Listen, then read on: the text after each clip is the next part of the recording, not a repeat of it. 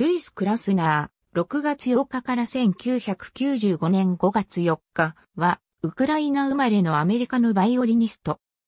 ウクライナのチェルカ水に生まれるも、5歳の時に一家ともども渡米した。9歳からバイオリンを始め、ニューイングランド音楽院でユージン・グルンバーグに指示。1920年頃から現代音楽のバイオリニストとして頭角を現し、ベルクのバイオリン競争曲やシェーンベルクのバイオリン競争曲を初演して名を挙げた。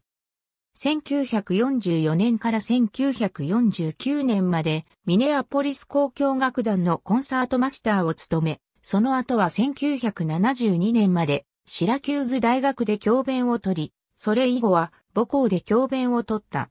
ボストンで死去。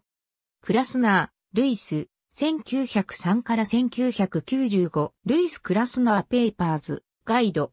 2012年6月30日時点のオリジナルより、アーカイブ。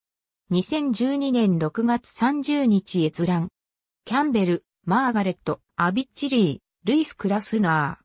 インディペンデント、オリジナルの2019年12月30日時点におけるアーカイブ。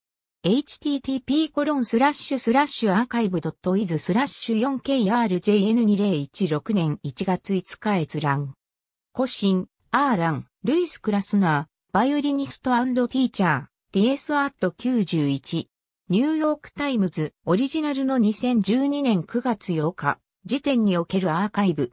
http コロンスラッシュスラッシュアーカイブ .is スラッシュ OA99201 年9月8日閲覧。ルイス・クラスナー・ディスクックス。ありがとうございます。